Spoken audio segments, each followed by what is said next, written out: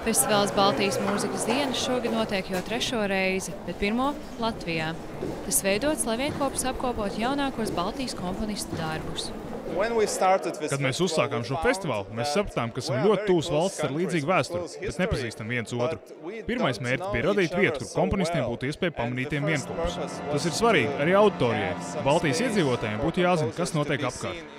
Tā ir mūzika, kas ir jābauda, kur varbūt tās nianses ir ļoti, ļoti daudz, un viņa nav varbūt tik tieši pieejama, ja mēs to sākam klausīties tikai tagad. Bet tajā pašā laikā nu, katram ir ar kaut ko jāsāk. Es varētu teikt, ka nu, mums, Baltiešiem, mums, Latviešiem, mums ir ļoti daudz labas muzikas, un tā ir jāspēlē. Es esmu ļoti gandarīts par katru skaņdarbu, kas šodien izskanēja, bet nu, visvairāk, protams, par mūsu lielo pirmā skaņojumu simfonija, tas, protams, vienmēr ir tāds milzīgs notikums gan, gan komponistam, protams, un arī orķestrim. Vairāk no Baltijas komponistiem festivālam veidojuši jaundarbus, kuros attīstīta tēma nepanesamais esības vieglums. Tā apliecinot attieksmi pret Ukrainā notiekošo karu. Atklāšanas koncertā pie klausītājiem nonāca Kristā uznieka pirmā simfonija One.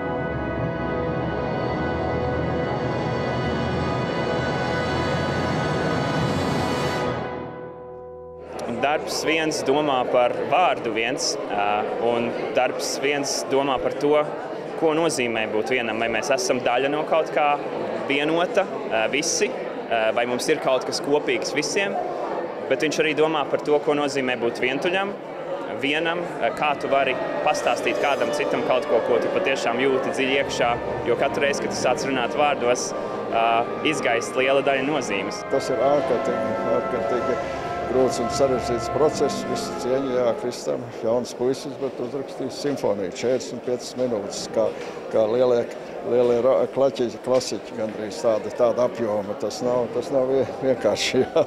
Fantastiski. Jebkurā mirklī es nevaru sev saukt par mūzikas profesionālu un, un sapratēju, bet uh, nu, orķestris, kad orķestris spēlē, nu, nu šķiet, ka es visu saprotu nu, es vispār ļoti tā emocionāli centos izjust visu un par mīlestību, par dzīvi domāju. Krista skaņdarbā harmonija, par ko nu, es katru reizi, kad es klausos Krista mūzikas, sajūsminos.